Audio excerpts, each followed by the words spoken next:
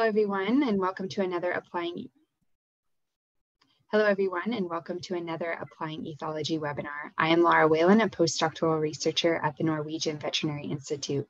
As we begin today, I want to remind you all to please turn off your camera and microphone. Should you have questions for our speaker, please type them in the chat box and we will address them at the end of this presentation. It is a pleasure today to introduce Saeed Shafiei Sabet. Saeed is an assistant professor at the University of Guilan, where he teaches and researches the effects of anthropogenic sound on fish behavior. Today, Saeed will present his research on ornamental red cherry shrimp's responsiveness to an acoustic stimulus. Saeed, welcome. Okay, thank you very much, Laura, for your good uh, introduction. Well, uh, hi everyone. Uh, I would like to share part of my results in uh, today's uh, presentation uh, with the title Responsiveness to an Acoustic Stimulus in the Ornamental Red Cherry Shrimp. This work has been done by Sasan Azan Laura Lopez Greco, and also me as well. Okay, let's move to the next slide. Okay, so Jacques Cousteau years ago mentioned that the can, can takes you deep into the silent world. So he made a series of documentaries and he described underwater environment as a silent world. And he, interestingly, he won a prize in 1956 for his documentary series.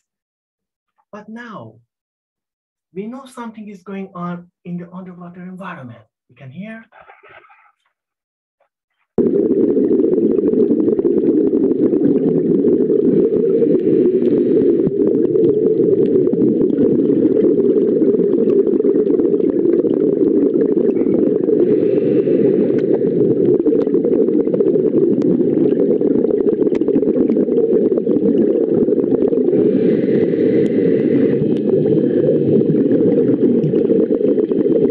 So as you can hear, the underwater world is filled with abiotic and biotic sounds. Well, sound can be used for mate attraction. It can also be used for ter territorial competence, of course, for predator avoidance. Also, sound can be used for prey detection as well and soundscape orientation. So we can see several species in this slide, they can use sounds for different purposes. Well, also fish larvae and juveniles can also use sounds for their orientation activities like soundscape orientation. So they can search habitats with guided sounds. Sounds these guys can use sounds, for instance, in coral reefs that we can hear an example of sound in coral reef recorded.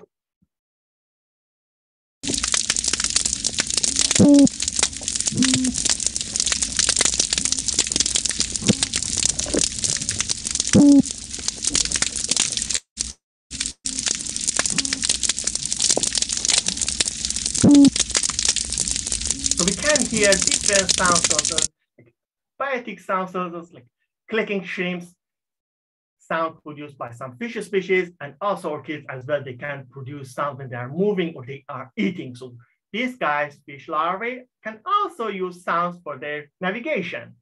Well, fish can use sound to avoid from predators, but this guy was not enough successful to avoid from the predator.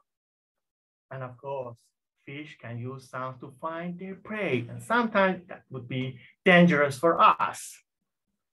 Many fish species communicate with sounds. On the left side, we can see croakers that they produce sounds to communicate with each other as a conspecifics. Right side, another fish species that also can produce sound for communication purposes, drums.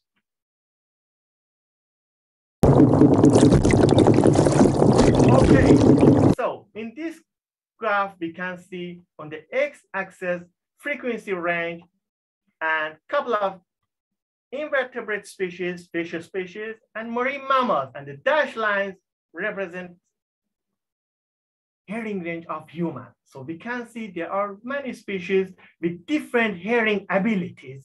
Sometimes there is kind of overlapping and sometimes there is different hearing distances. But the interesting thing is that sound produced by human activities exactly overlapping the hearing range of many fish species. So there are anthropogenic sounds can produce different temporal pattern of exposure. On the left side, you have pile driving land, but it can vibrate through the water and produce vibration. You can hear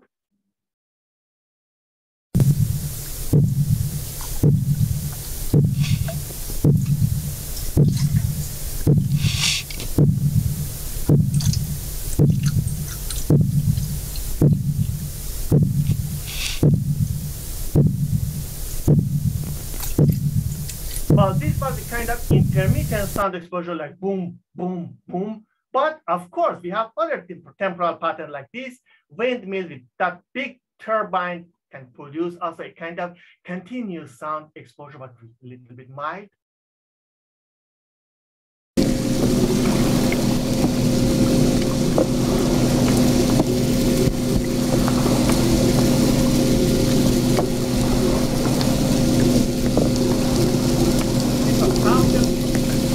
also shipping activities, boating, recreational for recreational recreational purposes, that the, the engine can produce sound a little bit louder because it's in the on the water.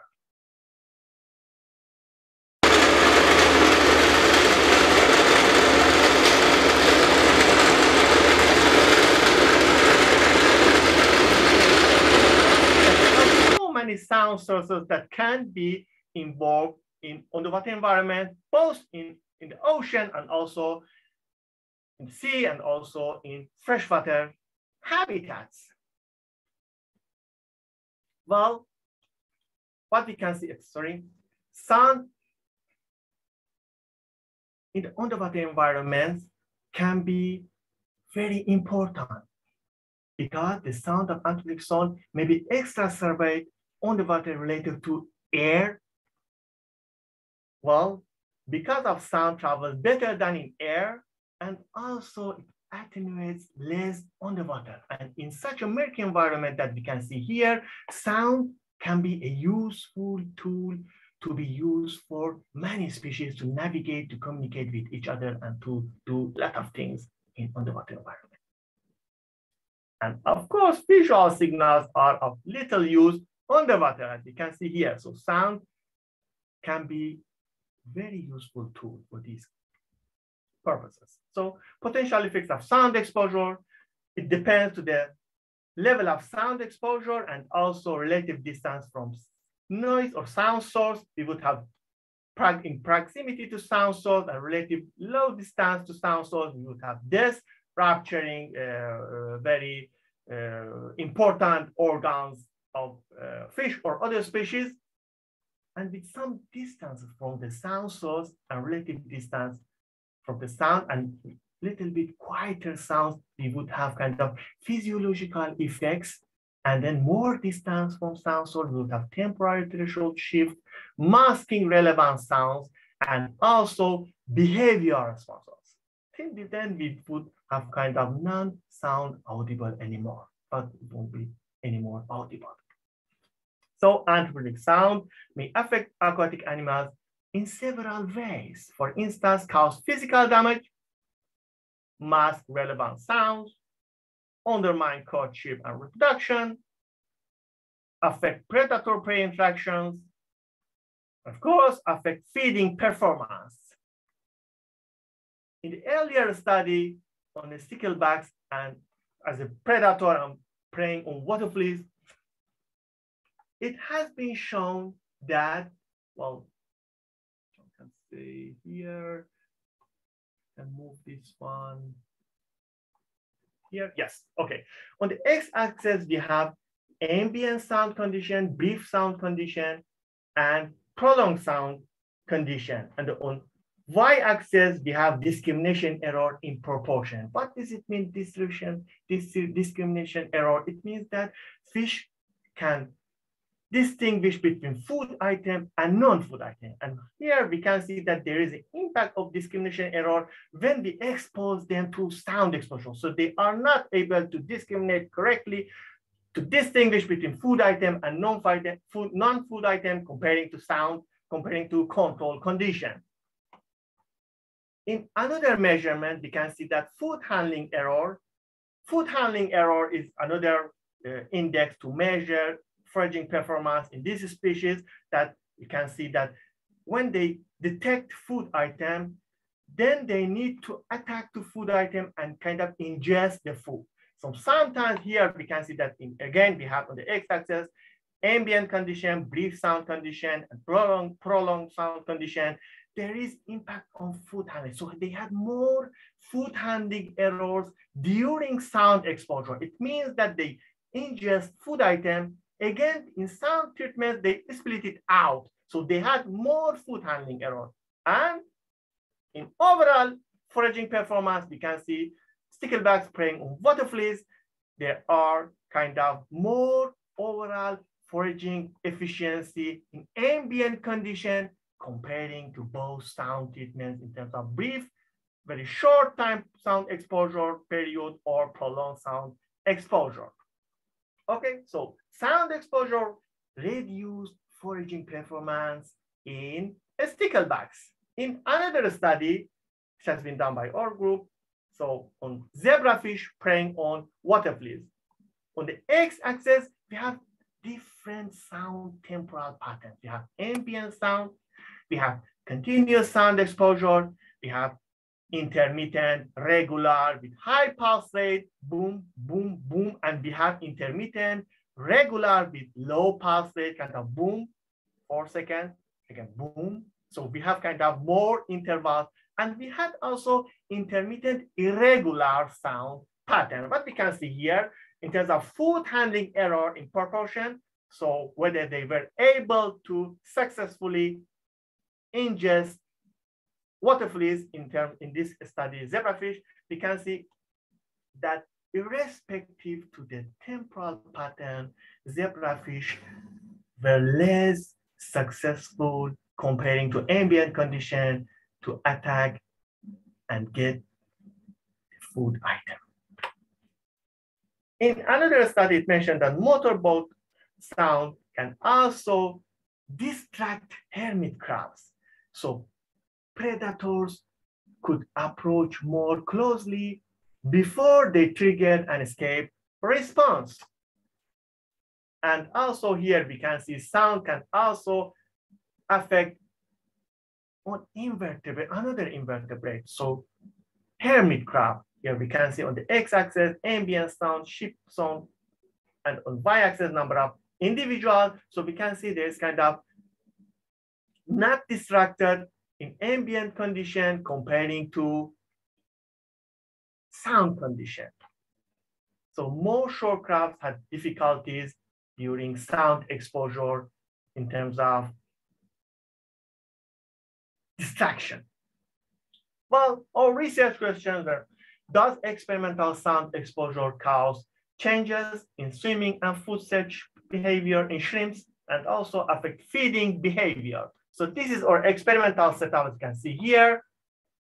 And then we add food item, we let individual shrimps to acclimate for one hour, and then we remove the gate or open the gate, and then simultaneously recording video file, and also either we had ambient conditions, so playback of no sound, or playback of continuous sound exposure. So this would be when they came to the food item, we had also simultaneously sound exposure. In the first experiment to measure swimming, feeding changes.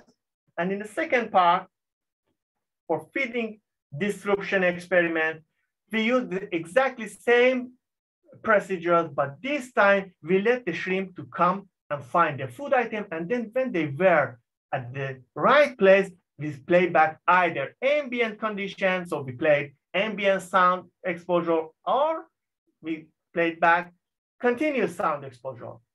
And this is our power spectral density that we had for playback. So on the x-axis, we can see frequency range.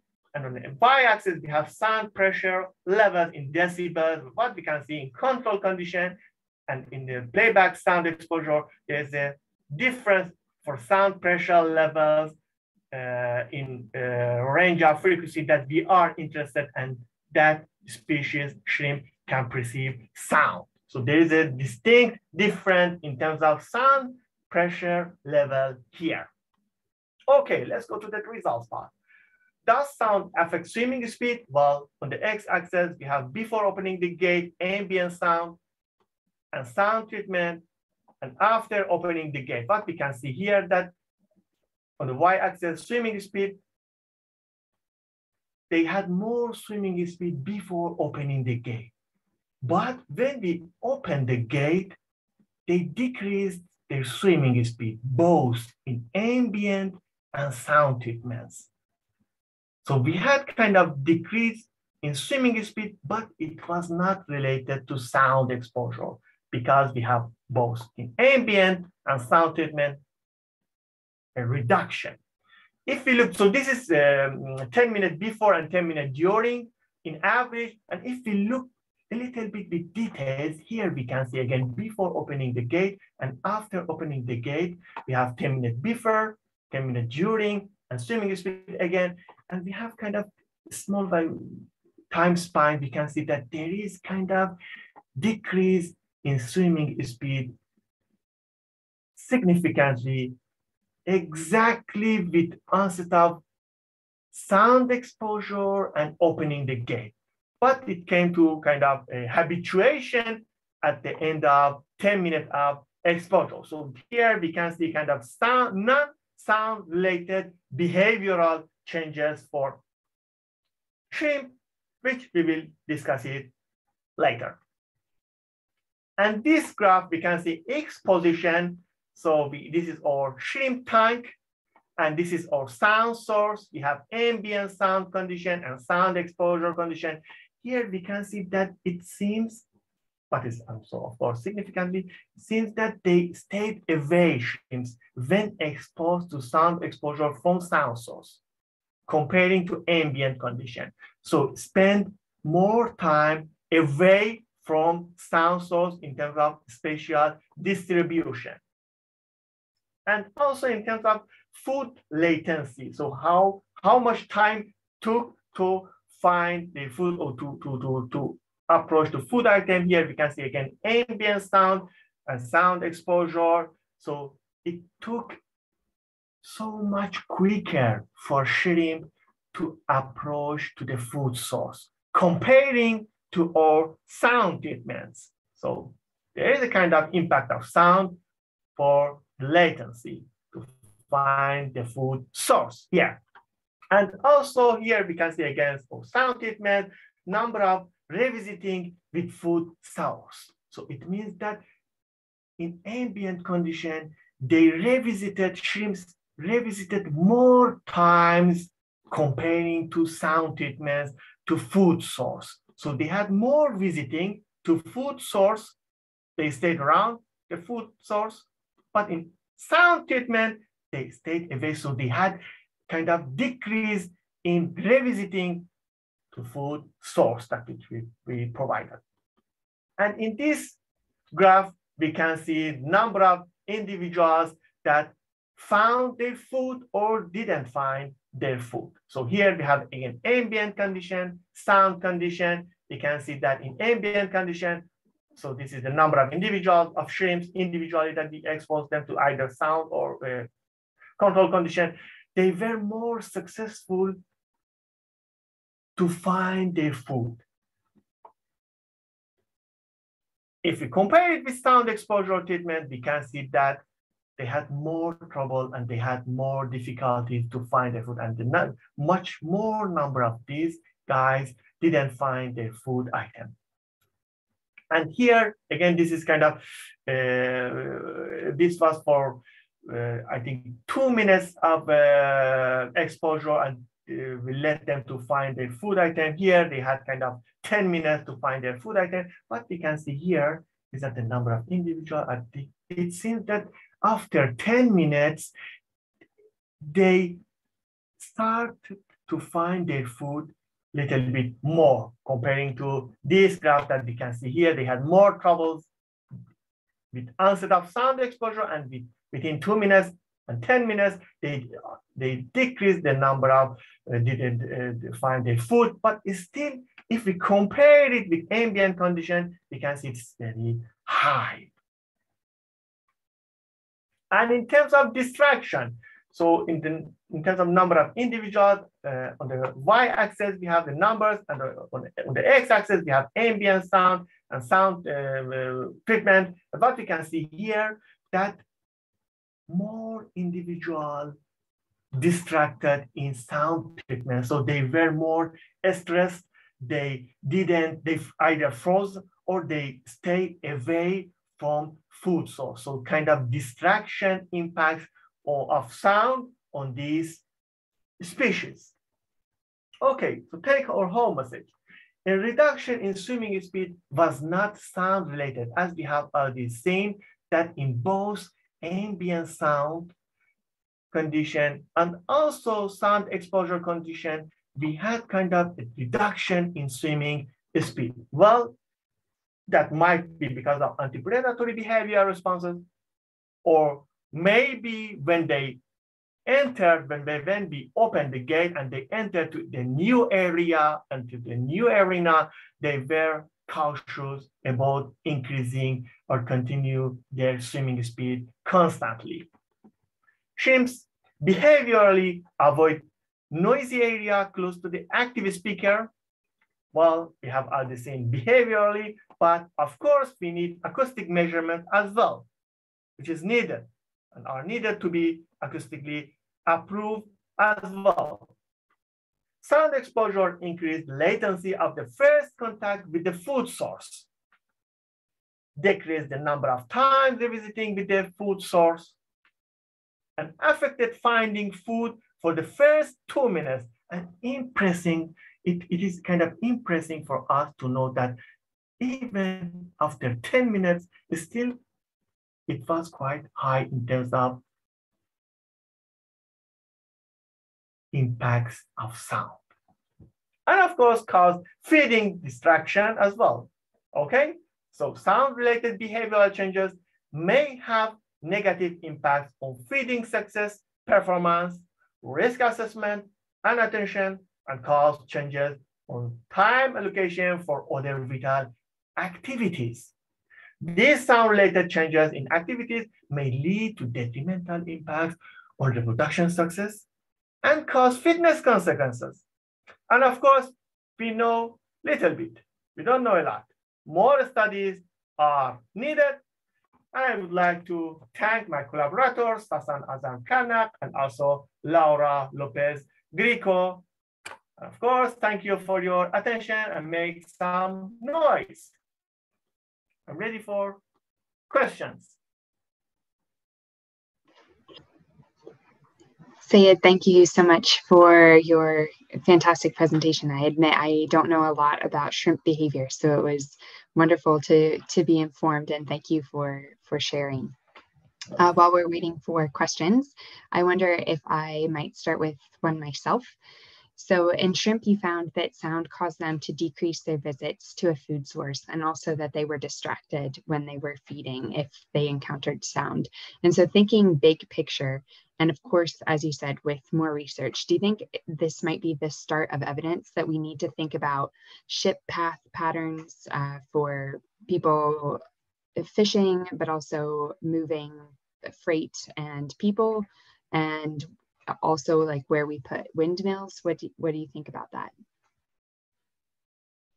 Sorry, Laura, could you please repeat your question? I, I think I, I didn't understand it correctly. Yeah, so you found that the shrimp were very sensitive to sound and it really affected their feeding behavior. And so thinking about the anthropogenic sound in oceans, they, I, for example, all of the ship noises went for boats and things of that nature. And so do you think that this, of course, with more research, could be the start of evidence that we need to be more careful about where ships are allowed to go and and when they're allowed to go in places to avoid affecting animal feeding behavior? Well, actually, yes, interesting question. About we, we have uh, we know uh, about fish species that anthropogenic sound in their natural world. For instance, uh, shipping activities change their uh, swimming activities and their, and their movement in terms of vertical movements and they, uh, during weekends or during holidays. So they change accordingly because of boating, recreational activities, when they want to eat food at the surface, so they stay away from the surface when they are during holidays, shipping activities.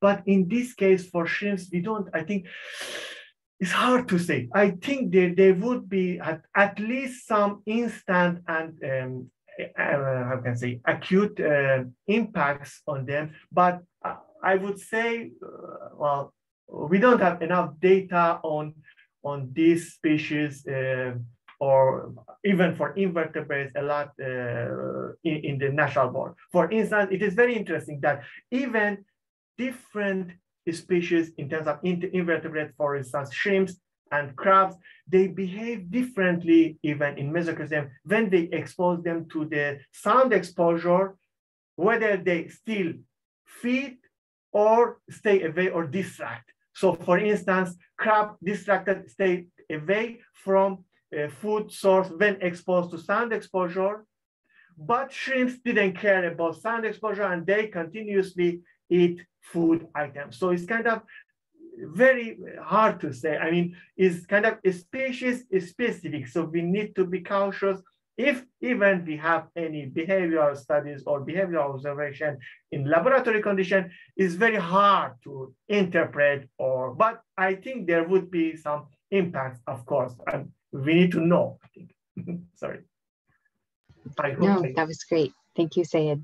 Birta says, interesting subject. How do we know that added sounds cause a distraction? Could it be that the added sound masks more subtle sounds used in foraging that we do not easily measure? Can you see the question maybe? Is that in on chat box?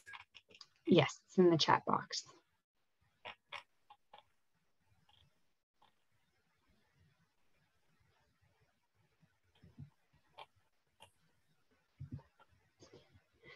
So it, the question is that when the sound was played in the experiment, perhaps that sound was more that it disturbed the shrimp's vocalizations or other sounds that they use when they're foraging and that actually cause them not necessarily to be distracted but to miss single miss important signals.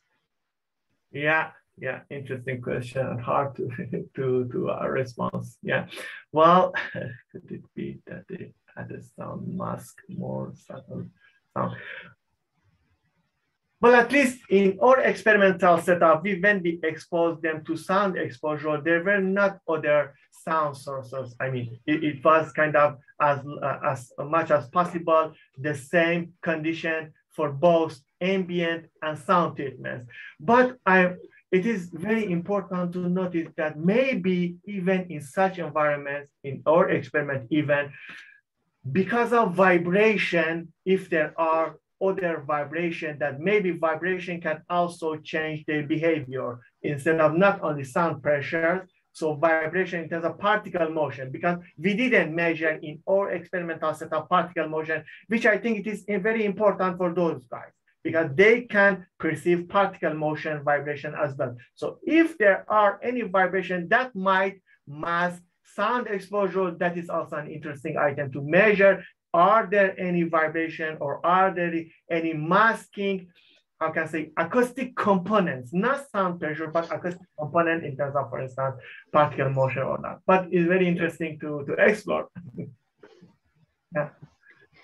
Thank you for that answer.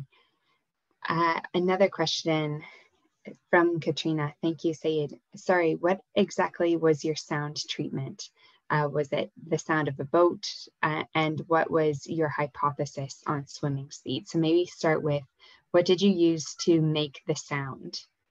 Well, actually, we didn't use uh, exactly record the sound of the boat or boats, but the pattern, we generated the sound via software to, to avoid from pseudo replication. So if we only use one boating uh, recording, that would be also, we have kind of pseudo replication, but we use uh, generated sound exposure and then we band pass filter in exactly the hearing range of these species, which is kind of in at the lower frequency. So we, if I remember correctly, the high pass and low pass or sound treatments the pattern was boating activities pattern, so continuous sound exposure.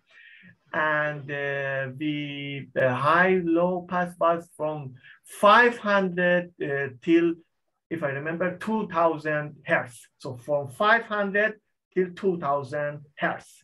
So this is the frequency range, but the lower part is more interested for this species because they are more sensitive to lower uh, frequencies. And uh, what was your hypothesis on swimming speed?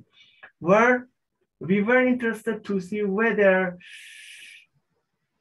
sound exposure may affect the uh, spatial displacement, but we also measured swimming activities as, as well. But the interesting thing is that we think, at least we think that instead of swimming speed, we can propose because they don't uh, swim a lot in this species. They, they have kind of movement. So I would suggest we can analyze or we can explore their movement behavior that is more natural. So when they are more happy, they move. So they walk, I can say walk or something. They, they are connected to substratum or the border of the uh, container. So uh, yeah, I hope. Yeah, I I might just push you a bit on that because you mentioned at the end that you thought that swimming speed might have been a sign of anti-predator behavior. And so do you think that more swimming speed is a good thing for shrimp or it uh, could be a sign of something's not right with their environment? Well, I think uh, when we open the gate, they decrease their swimming speed. So, uh, so I think that might be more related to because they enter to the new area and maybe they they don't use uh, they, they don't uh, tend to use swimming uh, in the arena when they are uh, in the natural condition. So if they are maybe I don't know maybe if we expose them to an uh, aerial predator or in the uh, or by the fish they they they they they trigger to swim more so they increase their swimming. I, I i'm not sure but i think this decrease in both sound treatments and control treatment, which is very interesting for us, is more not related to sound exposure at all, but is related to kind of avoiding behavior or cautious behavior when they are experiencing a new arena for the first time because they don't have any experience so they are cautious to to to swim or to yeah to to to to to, to move. Okay great. Thank you for clarifying that you're welcome. So we have a comment from Marta. Thank you for the presentation. What other species do you think might be especially, especially vulnerable to anthropogenic noise, but are not yet well studied? And what made you decide to study uh, these ornamental shrimp?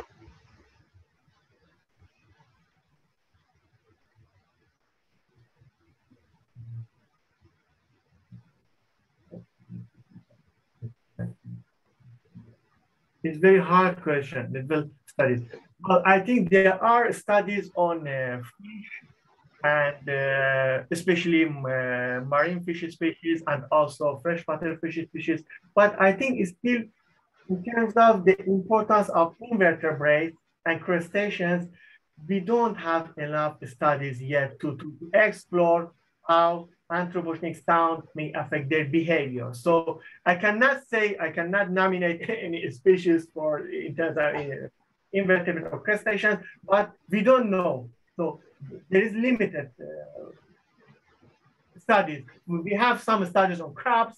We have studies on comparing shrimps and crabs, and also uh, um, red. If you look for shrimp, we cannot find a lot of uh, sound studies on these species as well. So I think, uh, well, as long as all species, I think, are important. So we need to know more about the pattern that we can see when explore them. It is not related to whether they are traditional or whether they are economic or not. Even non-economic species are also important because they are also in our food web as well. So if we impact them, that might vulnerate, how can I say, reverberate at the community level as well. Yeah. Great. And what made you decide to study ornamental shrimp?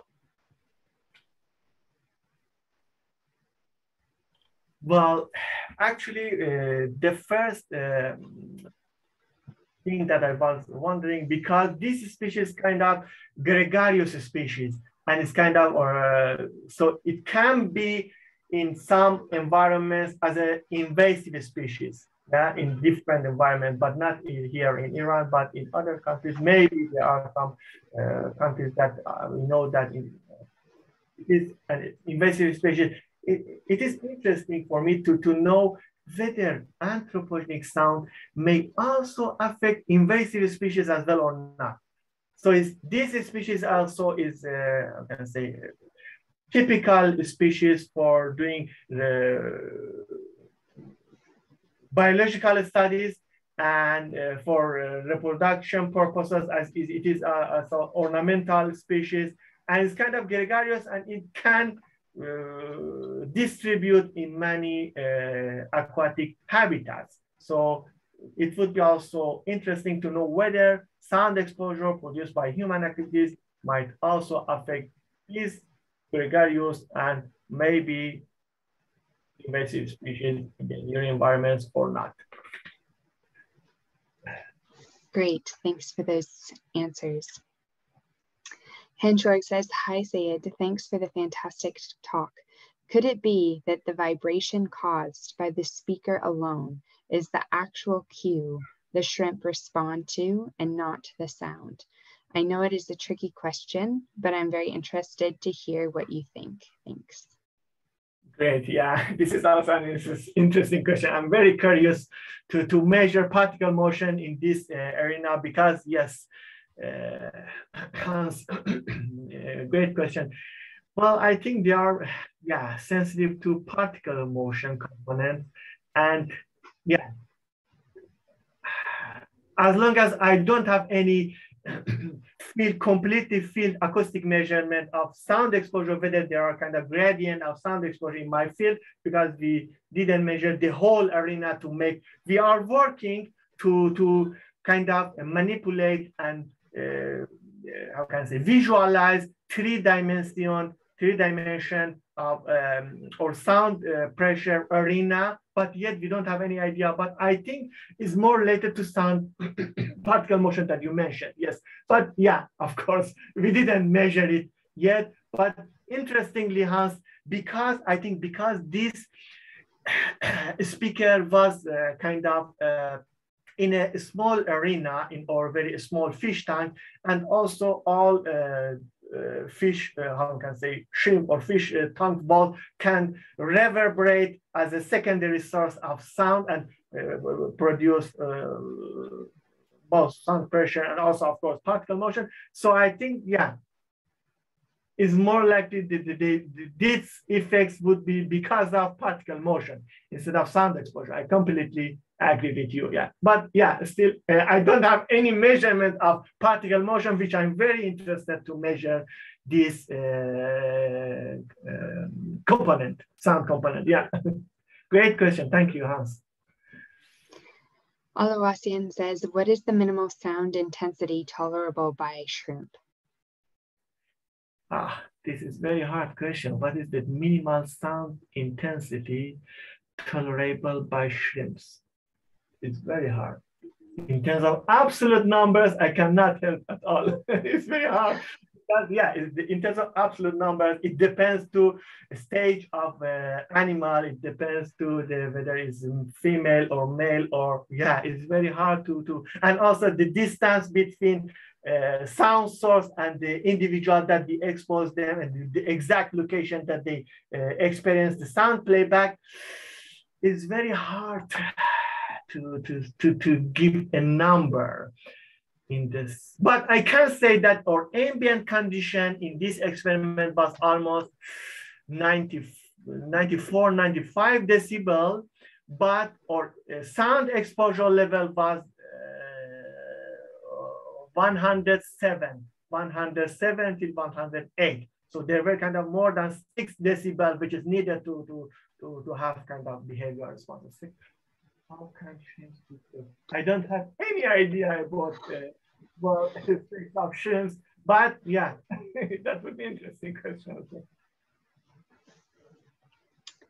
Well, great. That was a lot of questions. And thank you, Saeed, so much for taking the time to give such thoughtful answers.